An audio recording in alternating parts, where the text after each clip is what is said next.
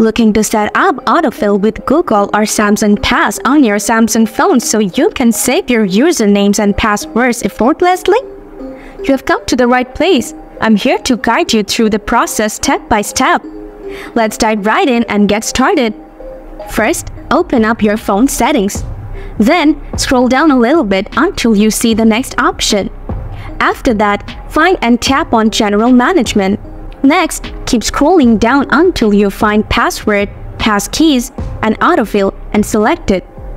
Now tap on your preferred service under Autofill service. Then, choose between Google and Samsung Pass for your autofill option. If you want Google, tap on Google and hit OK to confirm.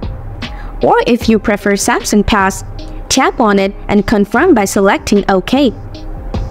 And just like that, you have successfully set up autofill on your Samsung phone. I hope this guide helped make your life a little easier.